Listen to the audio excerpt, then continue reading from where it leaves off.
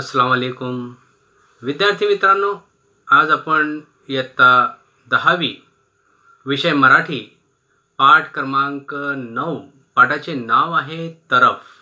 या पाठाचे लेखक आहे सुरेश मथुरे. परिच्छेद क्रमांक एक आपण पाहणार आहोत. सिसिली बेटातील सिराक्सूस शहर वेळ सकाळची स्वच्छ पिवळा सूर्यप्रकाश सगळीकडे पसरला होता. यानी सिसिली जो बेट है, उसके ऊपर एक सिराक्सू शहर बसा हुआ है। सुबह का वक्त था, साफ़, पीला।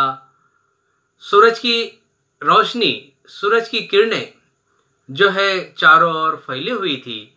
दिवस आठवड्याच्या बाजाराचा होता और दिन जो था, हफ़्ते के बाज़ार का था। म्हणून रस्त्यावरून गर्दी गोंगाट वाहत होता। इसलिए रास्ते पर गर्दी आवाज बहुत शुरू था। हिरव्यागार द्राक्षांच्या गासड्या भरून बैलगाड्या बाजाराकडे जात होत्या और हरेगार अंगूरों के भरी हुए अंगूरों से भरी हुई बैलगाड़ियां जो है बाजार की ओर जा रही थी। काही काही गाड्यामधून ऑलिव्ह फळांचे ढिगारे हिरव्या पाल्याभाज्या आणि बाजारात विकण्याचे इतर जिन्नस जात होते। और जो है बहुत सारी बैलगाड़ियों के अंदर, ऑलिव, यानी जैतून जैतून के फलों के जो ढीक थे, वो भी बैलगाड़ियों में रखे हुए थे। हरे सब हरी हरी सब्ज़ियाँ बाज़ार में बेचने के लिए और जो ज़रूरत की चीज़ें हैं, वो बेचने के लिए जो लोग जो है बाज़ार जा रहे थे। जाणाऱ्यांची एकच घाई गर्दी उसळली होती। और जाने वालों की एक जैसी जो है गर्दी हो रही थी, क्योंकि जल्दी पहुँचना था, इसलिए गर्दी कर रहे थे सब।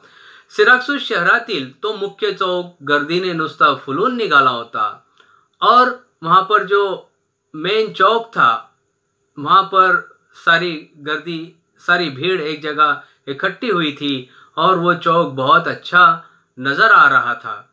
चौका चौकाभोवती जी जुनाट घरे मात्र स्वच्छ सूर्यप्रकाशात चकाकत होती और जो चौक था, उसके आजू बाजू जो जुने घर थे, वो सूरज की किरणों से चमक रही थी। प्यारे बच्चों, यहाँ पर हम रुकते हैं।